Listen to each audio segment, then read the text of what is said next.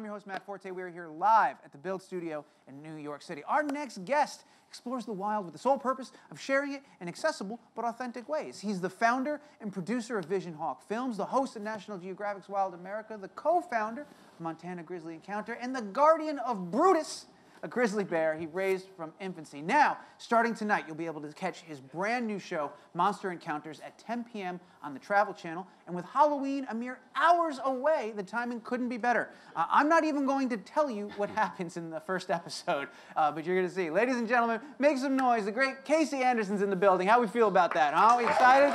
Casey's right here, huh? All right. Uh, we're going to kick things off in just a second, but first, I believe we have a peek at tonight's premiere, so uh, brace yourselves. Let's go ahead and run that clip.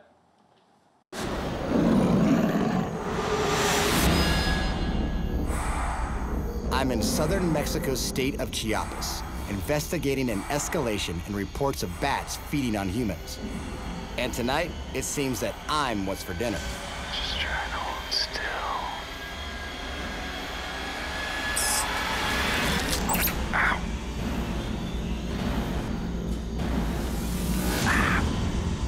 Hurt really bad.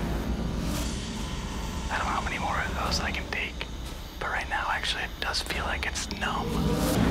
Vampire bat saliva contains a protein called, no joke, Draculin, which keeps blood flowing while numbing the wound.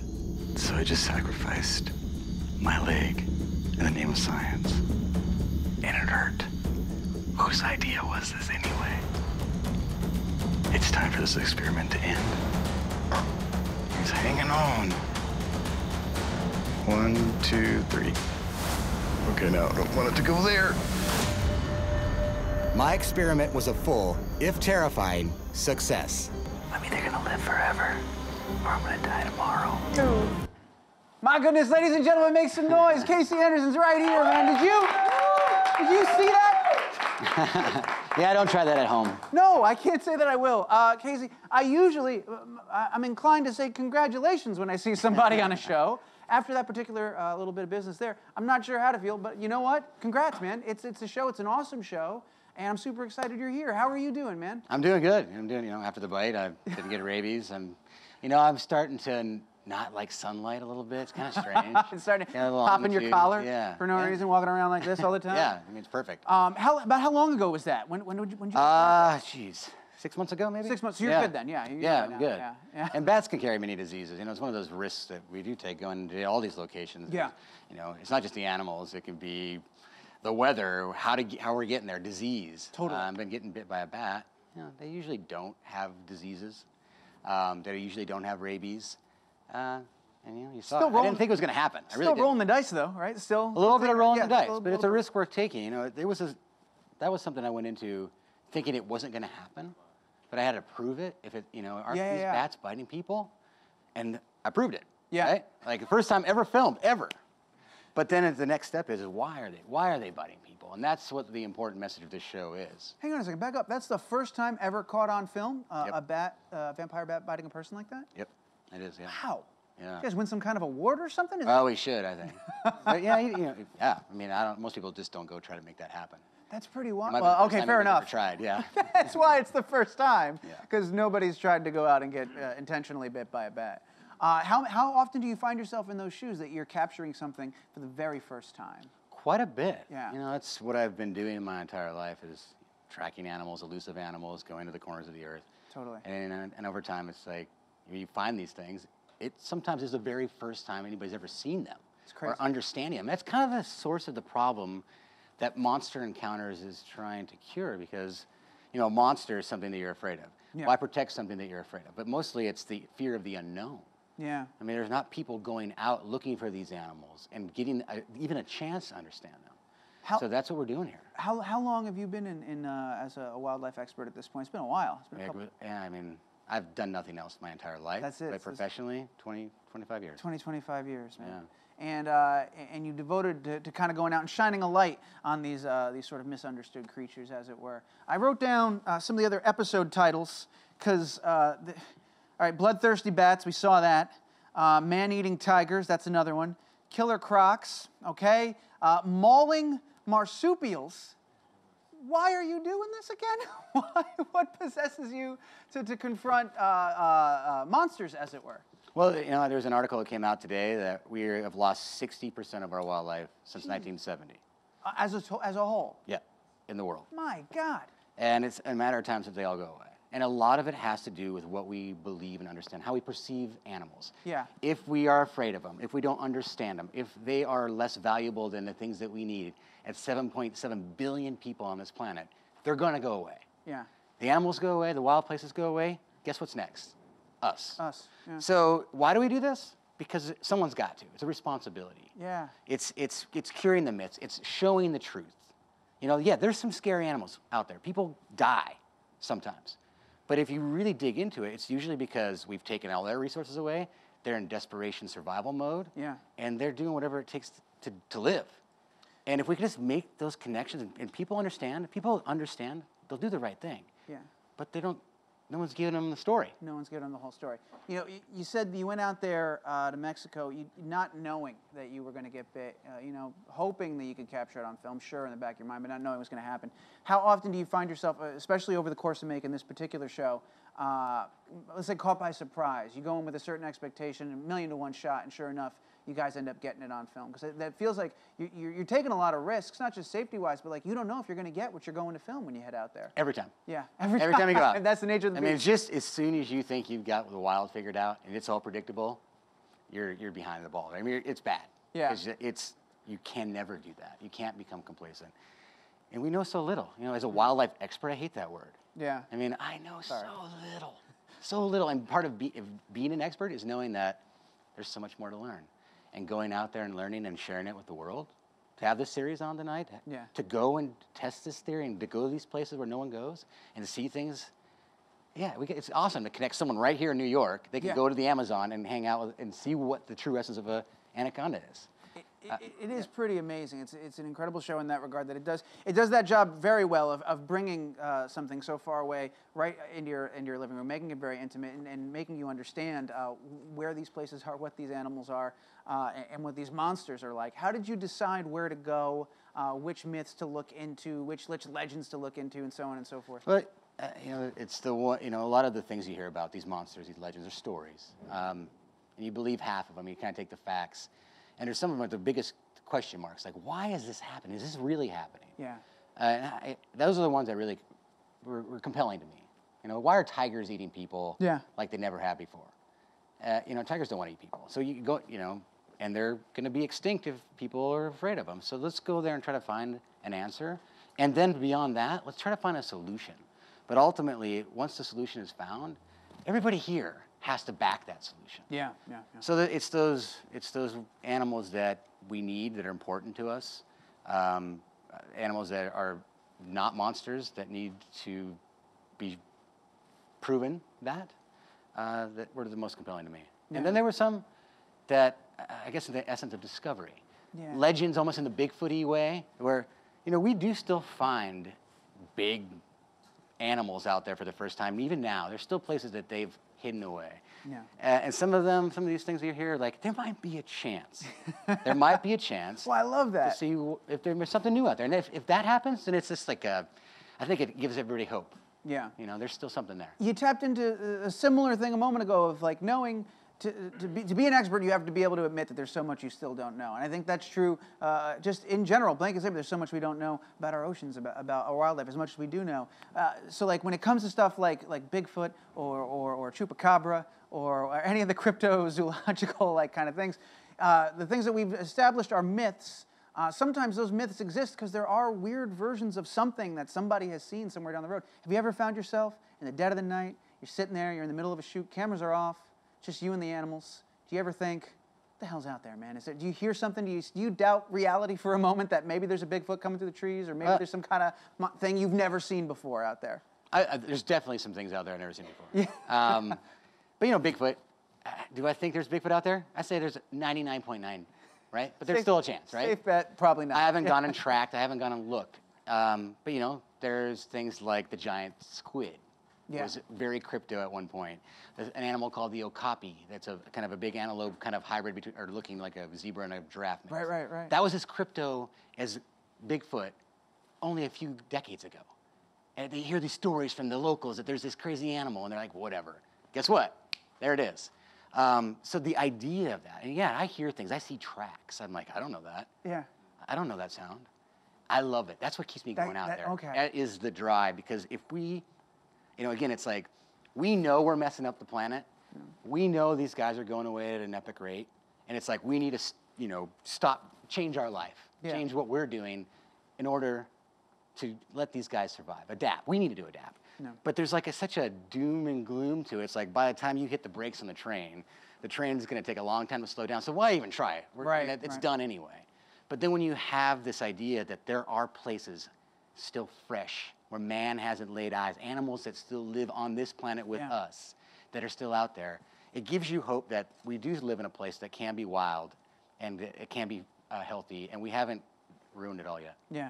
You, you guys, uh, you uh, Vision Hawk Films. I was looking at a thing you posted. You guys just did like an IMAX shoot in one of the last untouched, like one of the last pure places on Earth. Where was where was that that you guys went? Yeah, the Great Bear Rainforest. It's one of Great Bear the- Rainforest, It's just, it's like lost in time. It looks like you go back in time, it's like 30,000 years. That's Just wild. beautiful place uh, on the coast. It's, it's, uh, the mountains meet the sea, and it's just like there's this blurry line where you know you got bears fishing for salmon and then orcas grabbing you know heron on the side, and it's just all right this place. And as a human in that world, you sit there and you're just you're just one of the animals Yeah. And they have no fear of you and they just do their thing and it's it's kind of to be embedded in that and Yeah. not uh, you know influence their behavior just kind of fly on the wall as a filmmaker those are the best you, know, Yeah. you just sit there you're, you're you keep learning and seeing things no one's ever seen before and then be able to capture it epically and you know IMAX size Yeah, I saw the trailer. I think it was at, like, I was running at four. I was like, "What's the max resolution? Good, 4K. Let's watch this thing." Yeah. I love that stuff, man. It looked incredible.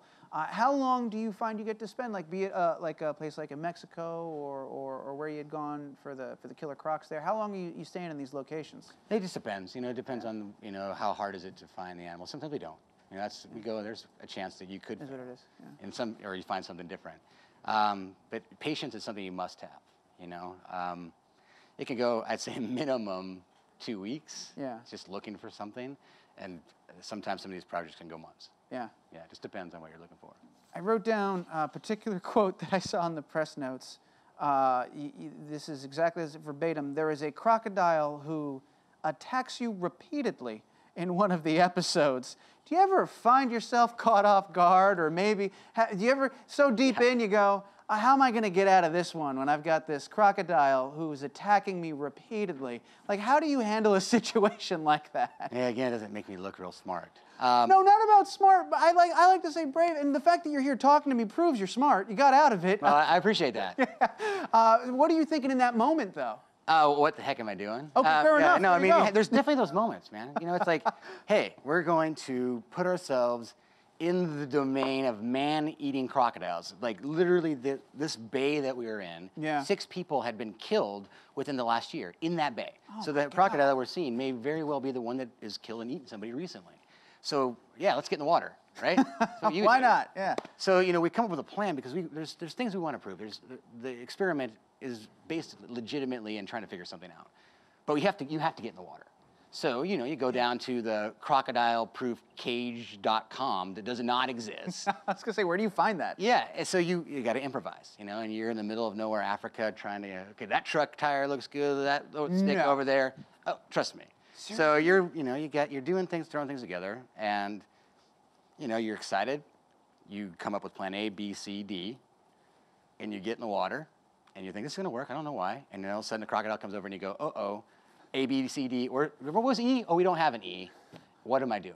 And yeah, you know, a crocodile is uh, one of the most amazing animals on the planet. Yeah. You know, the sheer jaw, jaw pressure. I mean, they're a dinosaur, 68 million year old thing. yeah. You know, and they haven't evolved at all. And there's a reason because they're perfection Yeah. and chain link and steel and all that stuff, it's it doesn't matter, man. Innovation and what we can do here might fall fall apart.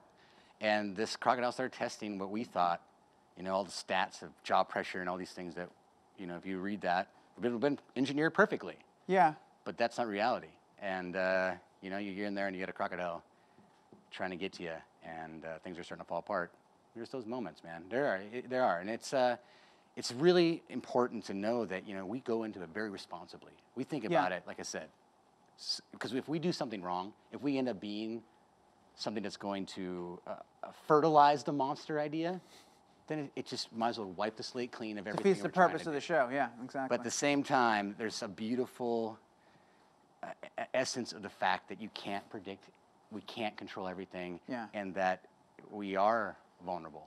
And you know, if you can walk away and have that moment, and I can be a little scared, the expert, yeah, yeah. shaken, peeing my pants, um, that's good. It's humbling. That's good. Yeah. That's the humility I think the world needs. Yeah, for sure.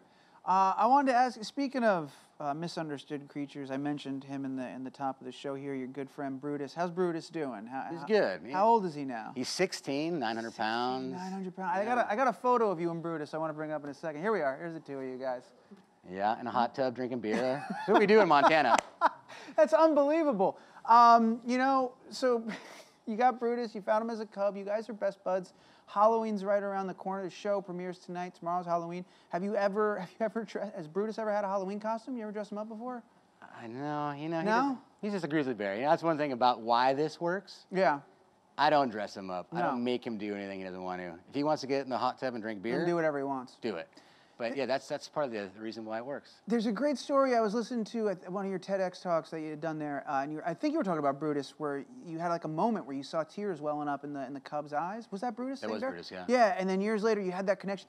Do you, do you find yourself? Do you ever find that connection with other animals when you're out there in the wild? Is that unique to, to how you feel with Brutus? Is that something you, you've bonded with other creatures out there? I- I think it, it, two things. You know, I've had bonds with different animals, definitely. Yeah. I've had a relationship of some level. But what that did to me was it just showed an individual personality within this bear. Yeah. A bear is not just a bear. So when you know that, because I've had the opportunity to get to know him and other bears, and I know they're all very different, as much as anybody in this room. Yeah. When you go out in the wild world and you look at a herd of deer, it's not a herd of deer. It's a bunch of individual deer hanging out. Right. And we know this in dogs. We, you know, we know that we've had dogs over our lifetime. They're all very different personalities, but we don't give that same respect to all the other animals in the world. That's one of the greatest gifts that he's taught me. Yeah. And even in the series that premieres tonight, it's like that that essence of Bruce, the lesson that he taught me, the gift that he gave me, is that when you go out there, it's whether it's a white shark or a man-eating tiger. This is an individual making a choice. But then there are some bad eggs out there, and you got to know that because if a tiger kills somebody, the way the world sees it, a tiger is a man killer. Tigers are man killers. Yeah, Let's yeah. get rid of them. But I got that gift from this dude right here, Hmm. and it's because I've had this relationship. Well, then to that end, you've never dressed him up, uh, and you know his personality better than anybody. Maybe you could take these back to him. I had a couple ideas I want to throw your way because he is so lovable. Uh, the first one I had, let's go take a look at this uh, Fozzie Bear. Now, what I'm thinking here is very simple. It's not going to hurt. It's just a hat and a scarf. It's an easy costume. Is he a, is he a, is he a yuckster? Is he a jokester of a bear? Is this? I think he'd do it. He could do it? Okay, Yeah, yeah, I got yeah. another one. Let's take a look here. First of all, it's a great picture of him. Uh, another idea I had, let's take a look at this one. Yogi Bear. This one's easy. Just a hat, again, a hat and a tie. Very, He hates Yogi. He hates Yogi. Yeah, okay, yeah. good. Get rid of Yogi. Yeah. I got one more here. This, first of all, what the hell's going on here? Yeah, What is, what is the story behind this photo? Uh, you know, it's it's I saw it in the family, friends, yeah. and I tell you, the key to the heart of a bear is one thing: food. Food, food. Well then, okay, maybe this is the last one. Let's throw this up there. I thought this one was just adorable. It's Winnie the Pooh. Now this one, it's gonna be tougher to get him in and get him out, but I think it might fit his personality a little bit better. He's a big, Definitely bear. very Pooh-like. Very Pooh-like. Yeah. uh, Wonderful. yeah, red, medium, yeah. Yeah, it brings yeah. out the color in his eyes. Yeah. I um. All right, we got one more thing. Thank you for indulging Ah, no my problem. ridiculous Photoshop work there. You gonna put something on me now? No, you want to put something on you? Hey, try it. I'll see if we can get a, a tie and a hat on you as well. Uh, I want to remind everybody the show's coming out tonight. We got a really fun thing we're going to do in a second. Uh, we're going to bring some animals out here, but before we do, I want to thank you, uh, not just for the show, but all the work you've been doing, man. The, the awareness you've been raising, and, and, and the, these amazing creatures, bringing them into our homes so we can see them and, and not have to be terrified and learn about them. It's tonight on Travel Channel, 10 p.m., 9 Central. Uh, you got to check it out. Monster Encounters, fantastic show. All right, now that being said, me being scared of animals, misunderstood animals, we've got some amazing misunderstood friends here with Yeah, us. we have some Uh, why don't we bring them on up? You talk me through. Goodness gracious. All right, there we go. Right out of the gate, we're doing this one. All right. So, what do uh, we got here? Of all the monsters on the planet, this is the yeah. one. Look at a. My God, that is. It's a rose-haired tarantula. Sure is. And there's 43,000 species of spider on the planet, and I say like more than half the population of humans have some level of arachnophobia. It's just a little bit, yeah. Right, only, gonna- only like six people die a year from spider bites. And of the 43,000, only like 30 can even have the ability to even do anything to, to kill you. Yeah. So it's a What's- bit of a phobia that's kind of based in uh, sensationalism. Like Yeah. A couple bad things happen, now you've got a monster. Yeah. And why have spiders around, right? Let's just squish them. Let's just get rid of them. I don't want to squish them. Just put them over there. Is all I'm saying. he doesn't have to be squished. And it's the way they move around. It's Gorgeous, though. I'll tell you that. Oh yeah, and just look at it. That's the thing about them. Just when you get close to them, I'm doing my best, yeah. Don't do. You get to see that they're these these perfectly Wow. designed little ambush predators that eat insects, things like cockroaches and mosquitoes, things that actually do pass diseases that actually kill people. This guy's our little bodyguard. What He's are, looking out for what us. Are the, what are the little guys right up front? Those are those are extra. oh, little- those things. What are those? Are I those- just, oh gosh, there's a word, and uh, Megan's gonna say it. right Megan, what's the word? Do we know? Uh, Here, you know what? Different question. Are those threatening to me specifically? Those little. No. Okay, good. Then we- it doesn't if matter. This, this, we'll Google this it. tarantula Rosie here does have some pretty big fangs. And if she had enough venom and she could inject it into you, you would be digested from the inside out and be immobilized. But that's not going to happen.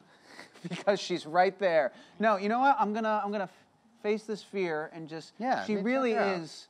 Jesus. All right. She is absolutely gorgeous. Oh, so pretty. Uh, yeah. I'm good though.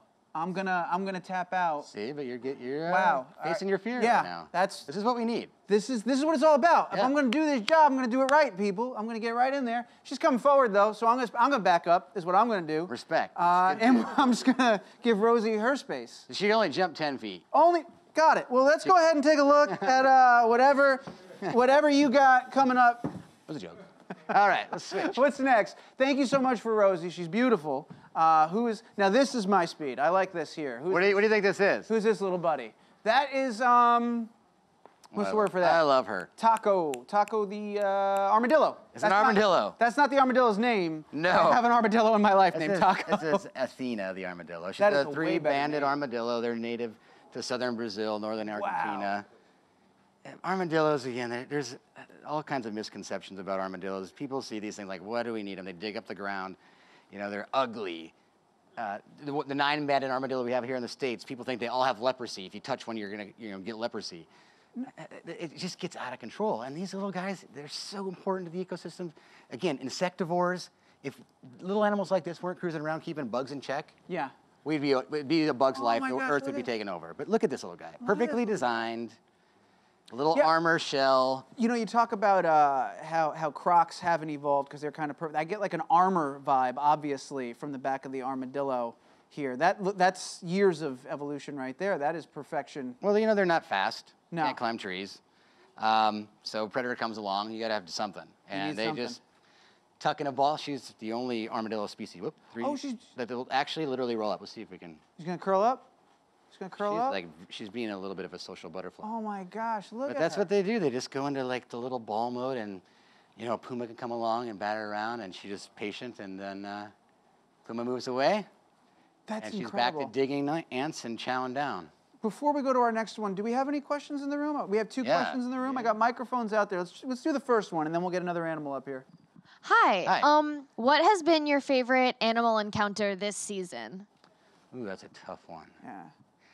Uh, well, it's- had kind of a bit of a, a surprise. Um, it was an elephant. Oh, Uh, really? An injured elephant.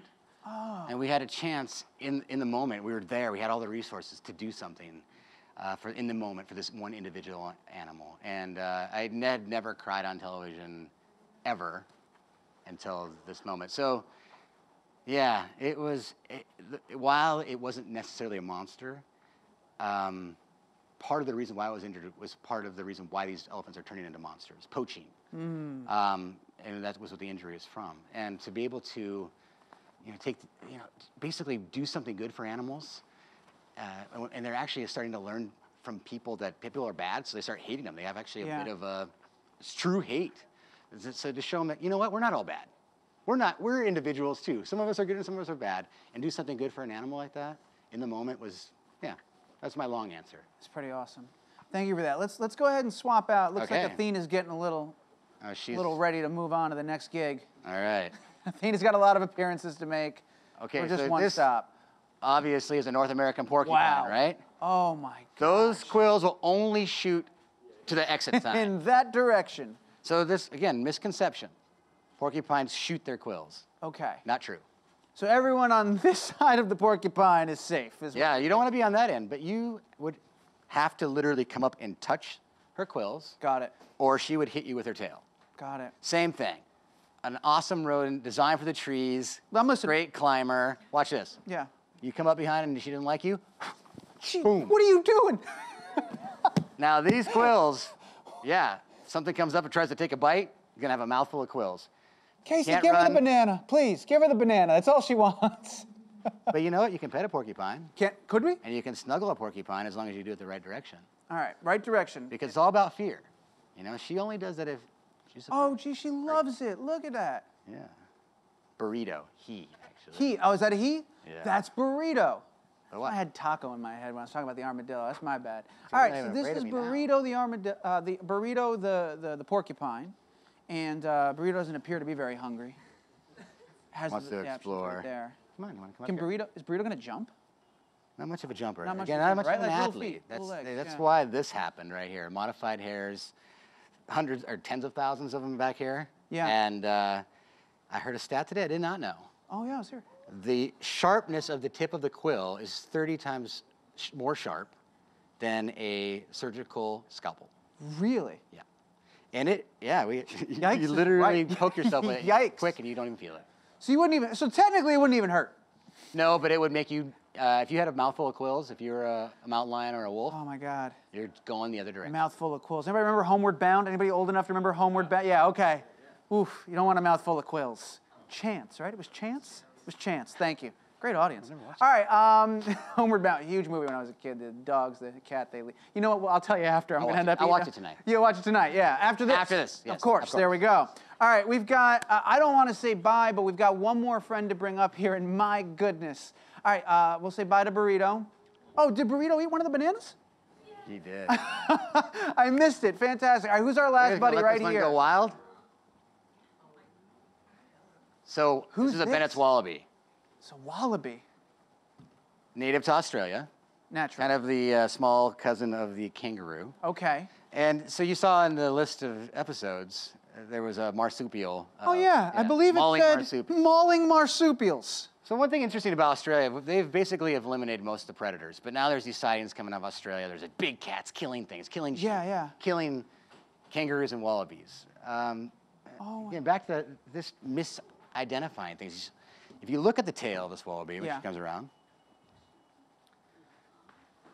it looks a lot like a buddy. cat tail, right? Let me see this. Looks like a mountain lion's Very much. tail. Yeah, yeah, yeah. Look at You that. know, when you see them go across the road in the, in the headlights, you often just see that tail. Okay. And then the human imagination. Okay, now there's cats out there. They, they see some tracks that are kind of weird, or they see something that's been killed by a, a feral dog. Now it's a wild cat running around, and then it just it snowballs and snowballs and snowballs. Now you've got hunting parties looking around for uh, these dangerous animals that are running around the outback of Australia, and all it was was this awesome little critter's tail that somebody saw cross the road, and it's turned into a crazy monster. Now, would this little critter want some of that banana? No, no, yeah. Yeah. Come here, Kaya. Let's see. Kaya, is it Kaya? Kaya is. Oh, look at you go. Hey, Kaya, what's up? Isn't it cool how they move around? So cool. Amazing little athletes.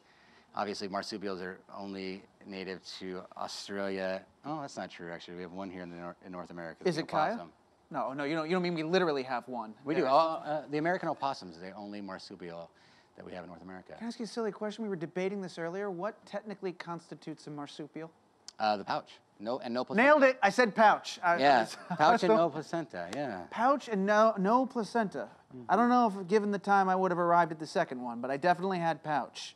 Yeah, you know, Um, they're, they're little guys are born immature, crawl up, crawl get in the in pouch there and develop there. It's like the second womb. That's pretty amazing. Kaya. Kaya, you want to turn around and say hi to everybody? Kaya's a little shy.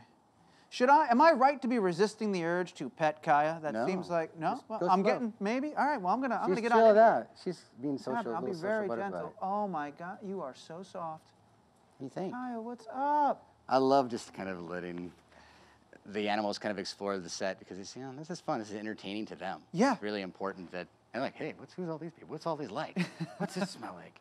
And then, yeah, the more you just let them relax, they they know. More of a peel girl. All right, Kai, I get it. We're gonna hook you up. Yeah, that's yours. Take it for the road. That's road banana. That's all yours. All right, I um, oh goodness, I could stand here and do this for the rest of the day, but I do gotta wrap things up. They're giving me the signal. I wanna one. Oh, I think we have we have one more question. Do I have time for that? I'm gonna do one more question, then I'm gonna wrap Cool. it up. Go for it, sir. Hey, saw Hey. you on Good Day New York this morning. That was awesome. Hopefully, they got the quills out of that couch. They did, yeah. They did. nice. So, are these animals like locally sourced for this purpose, or do they travel with you to every press junket that you're doing around the country? No, you know, we they're locally sourced, but we definitely run it through a, a filter. You know, it, interesting enough, my relationship with Brutus has actually ca- caused me to be a bit of an anti-captive wildlife guy. But it, getting up close to these animals and seeing them like we all are now, the, the power of that and curing the ignorance about animals is very important. But also, uh, who, where the animals are coming from. It's very important that they are taken care of, the ethics are in place, and because it's not always that way out there. So Yeah. we definitely have the responsibility of making sure where we source these animals, usually locally because we want, don't want to stress the animals. And they got to be animals that are, that are used to doing this. So we got to have pros that take care of their animals, that have their ethics in the right place, in order for us to associate with it. Because that's we're fighting against the, the misconception of animals, and we just don't want to to feed that fire. Yeah. It's probably hard to find a hotel that'll allow you to bring a marsupial or bring a wallaby into your room. Yeah, I I'd be think it- surprised in New York. That's true. You gotta ask Yeah. around. You gotta, but you can you can get what you need. I mean, I've had some crazy animals right in the middle of New York before, and in a hotel. What's the craziest animal you ever had in a hotel? Go. uh, almost full-grown mountain lion Get in the Muse off Times Square. really? Yeah, and it, you know, Just we said it we're, in? well, they said they can have cats. ah! they didn't specify size. Loopholes. And we brought it in, and uh, the manager's like, ah, "Oh, that's so cool!" Love and like they brought like fillet for the cat every night. It- so again, perfect be- example. That's a great. You know what? It's so funny. Not too long ago, we had uh, some baby cheetahs here, and one of the people that was traveling with them was saying, "Yeah, they're just gonna run around my hotel room later tonight." And I couldn't fathom, but I guess tiny cats, cats. They like it. That's it. Around, Cat's yeah. a cat. Cat's a cat. Unbelievable. Uh, all right. Well, first of all, I want to thank Jennifer and Megan, right? Yeah, Jennifer and Megan. Round of applause to our handlers for helping us out. You're wonderful. Thank you. I want to thank you guys for being an amazing audience. Those were great questions and, hanging out with us. Uh, round of applause for yourselves. And then, of course, oh, look at you, Kai. You want to host? We're going to put Kai in the chair for the next one. You're going to take over the show. It's your show now, Kai. Uh, I want to remind everybody one last time Monster Encounters it premieres tonight on the Travel Channel uh, at 10, 9 Central every Tuesday. You got to check it out. Ladies and gentlemen, please, uh, one more round of applause and join me in sincerely thanking the great Casey Anderson right here. Thank you, sir. Thank you, man. Oh, man, that was great. So good.